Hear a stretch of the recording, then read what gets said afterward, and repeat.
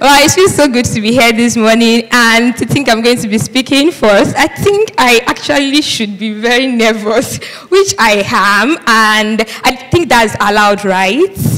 Okay, so thank you very much because I'm um, looking at these faces, I'm very confident of the fact that I'm not just here to speak, I'm here to share this idea that we both feel resonates with us and Together, I believe we're going to pick out the points and leave this room acting on it, making the world a better place, even as much as we want to. Okay, so um, I'm a very proud African, I must mention. And I would just like to see how many of us are just as are proud uh, about Africa as I am. How many of us? Okay, I think this is a good number. So I'm specifically very proud of Nigeria. and a part of me is wondering if I should risk this social experiment, but why not? How many of us are proud to be Nigerians? Okay, so I think that's very understandable, right? The fact that every time we wake up in this country, we have to think about so many things that have made things difficult for us. To think that a number of children in their millions are out of school. To think that a lot of people do not have access to health care. To think that potable water is even a problem in several communities in Nigeria. And to even think that with all of our efforts, either in the for-profit or the non-profit profit industry, we feel it's a bit much more difficult to other communities where people are getting things done. This is the this is also like the kind of bias, the kind of mindset I had. Like, why must everything be so difficult? So let me ask you this question. What is the biggest problem that hurts your heart about Nigeria? What is that biggest problem? okay, and why do you think that problem exists? Why exactly do you think that problem exists? So for many of us, our big why is obvious. And it's because we believe that there are a group of people who have failed us repeatedly. We think that every time we've handed power over to some group of people, whether our employers or the government, or a group of people we've just trusted at one point or the other to lead us, it's as if it comes back hurting us. And this is the mindset that have kept a lot of people from wanting to participate in anything that does not bring financial reward. The fact that your bills must be paid, and if you don't pay them yourself, who is going to do that? The fact that you don't even have enough time to put all things together and get things done, and yet someone wants you to do something without financial reward. It really brings the question of who really is responsible for the causes of the social inequalities we have part of me wants to blame the generation right before me, right? Because I believe to a large extent, these people were here when a lot of things were going haywire. Why did they not ask the people they had put in charge? Why didn't they ask them for what they were doing? Why didn't we hold them responsible? Another part of me is like, maybe I'm also very much involved. And I think this is the truer part. So it is bad enough that nature in itself always tries to marginalize the weak people amongst us. Even the law of natural selection, right? It tells us that we are going to do survival of the fittest. And then it's just bring the question, do we keep letting the status quo be the way it is? Do we keep letting nature actually kick out the weak ones amongst us? And what if, just what if, Following the law of natural selection, the universe also decides to kick out the planet Earth that you and I have weakened. Do you see why we can't leave things to be the way they are? So over the years, we've seen a lot of innovations rising from startups in the healthcare, in the fintech, in the education industry, all trying to address the root causes of social inequalities. And in the real sense, in the early stages of startups, sustainability is very key. And many times it means just targeting those who are able to afford them. Because if you don't keep your cash flow running, how else are you going to remain in business? In early stages of startups, so without or with bias, these social innovations just can't get to the people at the grassroots. Also, Recently on the Nigerian Twitter, we can see people raising brows at the raise of rights of charities. Many people have the opinion that if you feel you have one extra money somewhere you don't need, everybody is starting charities. And for one reason or the other, we just feel this doesn't work well with us. We've also questionably seen the government telling us about policies that they are trying to put in place in order to solve the problem of social inequalities. And you and I, as professionals in our field, are also working endlessly to get things done. But why are things just not getting done?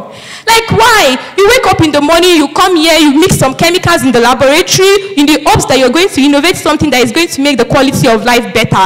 You wake up in the morning, the TEDxFUTA organizers volunteered to put these events together in the hopes that something is going to get done. But at the end of the day, why is it that we have so much effort, but then limited things to show for it? Why? Just why? I think the first thing we need to understand and establish is that you and I are very culpable. Social inequalities in itself is a pang of collective guilt. We contributed our worrisome bits. And if there is anything that is going to change that, it must also be out of the same interest with which we've contributed that we are stepping out of our way to get it solved. The concept of love basically believes that you do things for the people that really matters to you without expecting anything in return. And volunteerism in itself is the language of love in the society.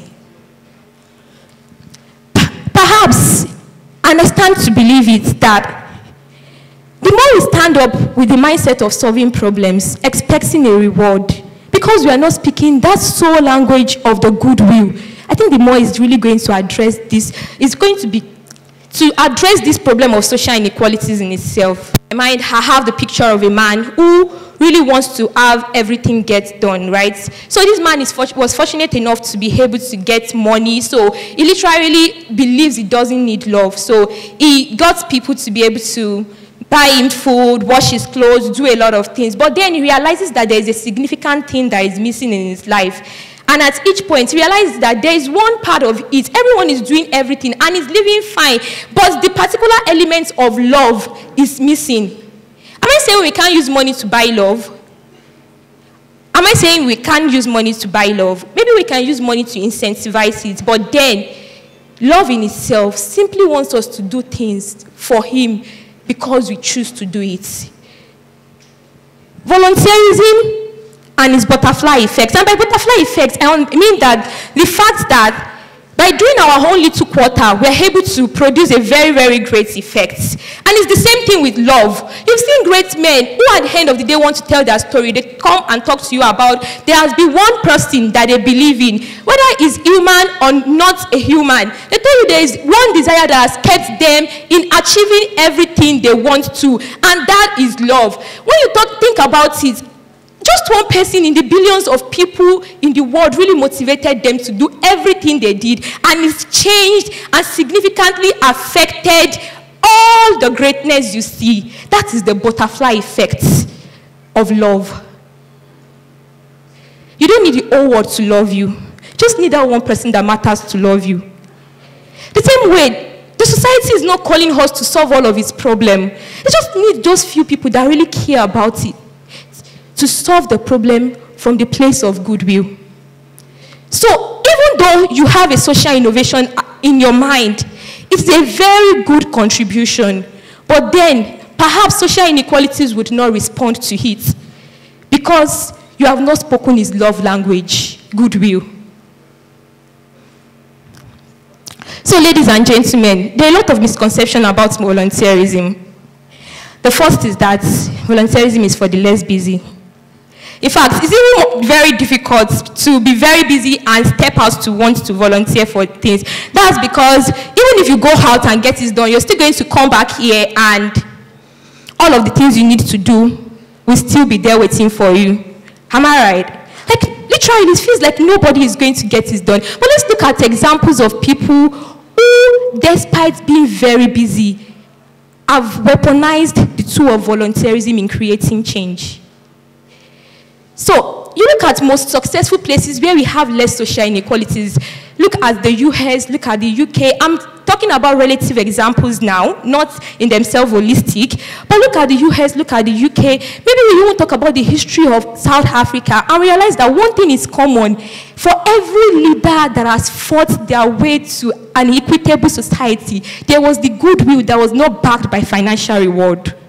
Whether it's democracy or it's monarchy or, or, or it is a benevolent dictatorship.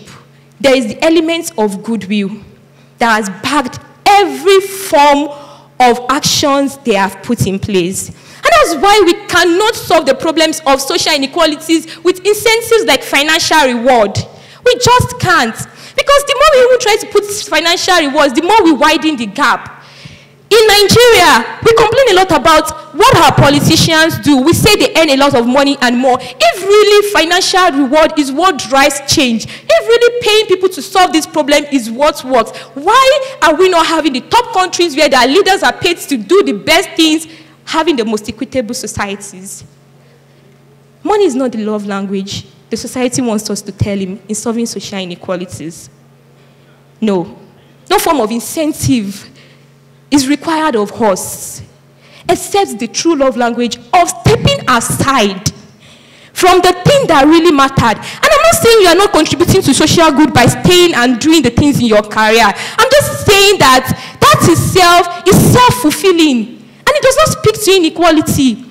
The more you pay a person to save to solve a problem, maybe you want to solve the problem of poverty, and you pay a group of people to solve this problem, do you realize how you are further widening the income gap between that person and the solution you are trying to provide. So, ladies and gentlemen, we have established that,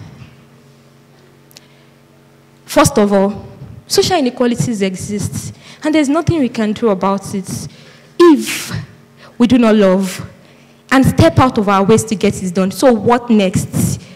What next? So we have a lot of developers, right? We have a lot of people who are very skilled, but really feel whenever they want to volunteer, the skill they have is not what they really want to volunteer, right? So maybe you've, um, you are, you, you are uh, you've gotten to the peak of your career, or maybe you're a student and you're still trying to gain knowledge to be able to solve the problems that you have seen. Maybe that's even why you are studying the course you're trying to study. Like after gaining all of these, what next? You've been paid to do it. Yes, people pay you in return, but what next? The big thing that is next is that understand that just as you were not paid to be a part of the problem, you can't be paid to solve the problem. And how have you been a part? Either by being the originator, being the perpetrator, or even believing it, because it dwells primarily in the heart. And that's why I strongly believe that the goodwill that also comes primarily from the heart is the tool to unwind the key, the, the locks that have closed the bars of social inequalities on us. So we see a lot of celebrities really buying into this idea of volunteerism, donating their social capital. You see them associate, you see them associating with inequalities like climate change, like gender, like healthcare and a whole lot. But we really need more people, especially in the field of academia and research, to step out of the classroom and laboratory walls. Problem does not end there. In fact, all innovations are supposed to thrive in the society. So how can you volunteer? How can you participate? Giving your time?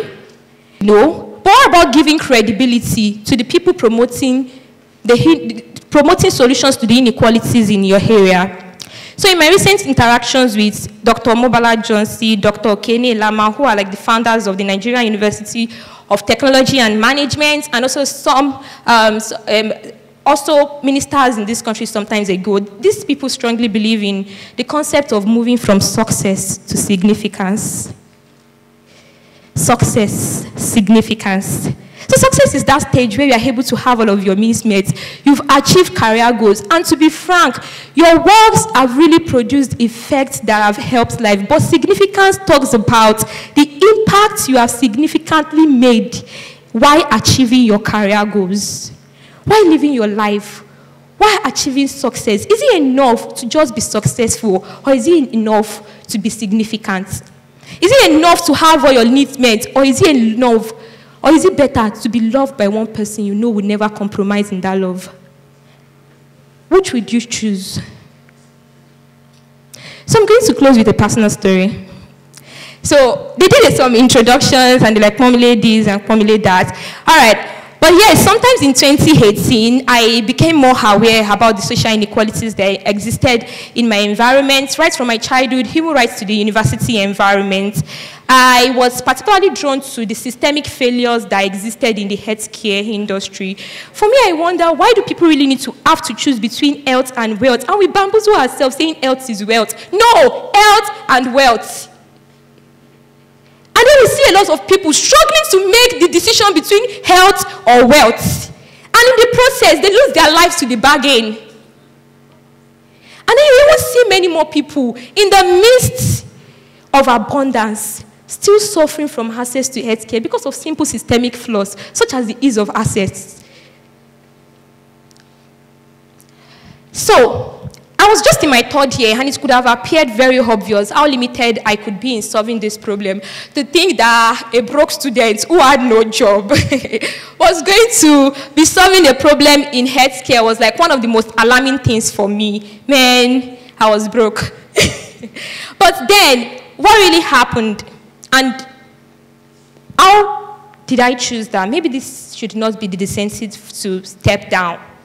I started speaking to a couple of friends, and in no time, we were planning our first outreach. So, supposed to be a beggars' health outreach that we're going to hold around the community all. We wanted to extend some love to some street beggars, and um, by secondary effects, we wanted to like empower those that were still able amongst them. Perhaps that would be a more lasting solution to the problem, right? But you can ask me about it. It failed.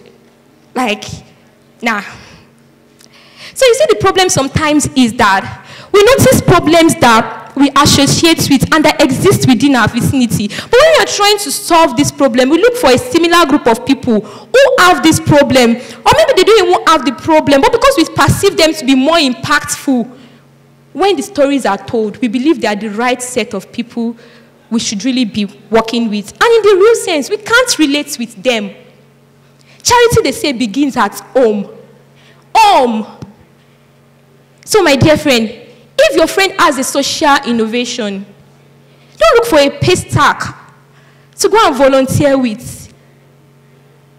You believe this idea, then you really should stay with it because that's the language of love. It doesn't deserve you. You just believe it.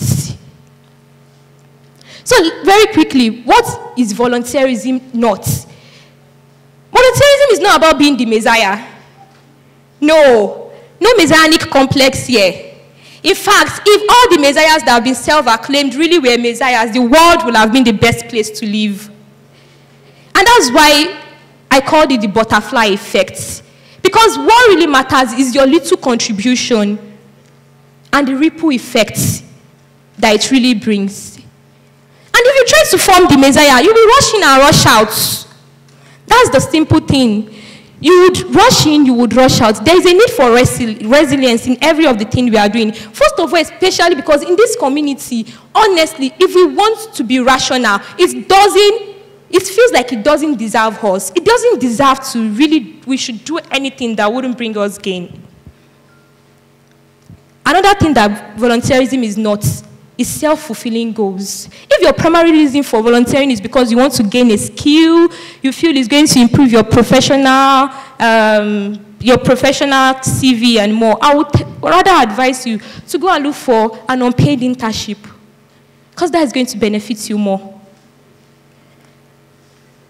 One thing that volunteerism is, is the goodwill to step out of your way and solve the problem. And until we speak the love language of social inequalities, which is volunteerism, we really can't solve this problem. So by 2019, I had identified two groups of people with whom I was closely um, associated. One was my childhood community, and the other is the university environment. At the time, I was one of the first set of healthcare students that we had in FUTA, um, specifically then studying human anatomy. So this, by virtue of my background, meant that I was also a medical leader in the eyes of many Futarians, because obviously we were the best we had in the medical line. So I decided to start um, helping a group of friends and colleagues in checking their blood pressure, checking their blood sugar, and a couple of things like that. And it was really surprising when um, I realized the number of people, young persons who really had high blood pressure, who really had high blood sugar, but we're not aware. And we could have kept all in the deception that we young people never really find out. The failure we had taught me really to come back home and think about the people with whom I associate with their struggles. And we took it one day at a time. Like today, when I think about it, the fact that this same kind of like set of beggars really wanted to care for some times ago had the same set of people that our volunteers are now caring for operational in five states, over 2,500 lives in rural and urban communities impacted, and we are building our first healthcare system from the ground up in rural communities. It really just teaches me about the fact that if you don't associate with it, don't try to struggle with it, don't try to solve it. You can build a professional career anywhere by hearing about it, but you cannot volunteer anywhere because you just heard about it. Volunteer build a career in global change, like in climate change, is very good. Build a career in medicine is very good. But the social inequality at your heart may just be that one child that, that lived beside you all through the 10 years of staying together but never had the opportunity to go to school. And that's the difference between career and volunteerism. The fact that you step out of your way to really not address that thing that you've either been a part of or not been a part of. And the truth is, really, nobody is going to pay you to solve it. Because nobody really pays you to love. In the end, I just hope that we see the fact that volunteerism isn't something that you should be taught to do. It's something that really should come out of your goodwill. Because the moment you start being sweet talked into it, then perhaps it's losing its meaning. The moment you start looking to build your CV through it, perhaps it's losing its meaning. The moment you start seeing it as a burden, perhaps it's losing its meaning because love doesn't really bear any of those things in heart. So I challenge you to choose to challenge the inequalities that break your heart. To stop seeing it as a distant problem caused by a group of people. To stop seeing it as your career line. To stop seeing it as the thing that is going to be your jackpot in the future. But simply, like the way you will love that one person you want to spend the rest of your life with, solve the problem. Thank you.